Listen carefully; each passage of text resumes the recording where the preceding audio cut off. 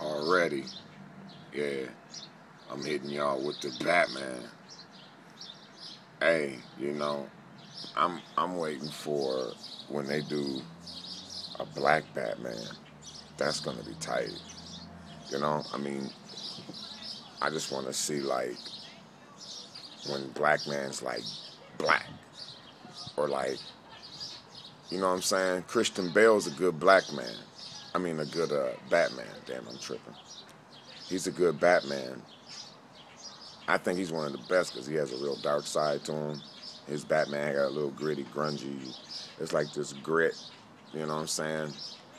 But I was just thinking about that, man. That would be tight if they, you know, Stan Lee let Batman be a black dude, like just like a black Batman. That would be, man, that would be hardcore. So, uh, oh man, why did I start recording this? Let me see. Dude, where's my car? No. I started recording this. Oh, today's Father's Day. I don't get into, uh, you know, somebody putting on a, a calendar or through some type of legislation that I have to, you know, woo to woo. But, you know, to everybody out there that is a dad doing the best you, doing the best you can, man. Today's your day. Like my brother Raekwon said, it's your night. It's your night. You know? So, hey, pop a bottle and enjoy it. Um, I was doing this because we were invited by our brother T. Mychael Rambo last night to go to his celebration for uh, tying the knot, uh, the song, the songs for fathers, and you know we were we went, good show, very good show. I want to give that brother props, but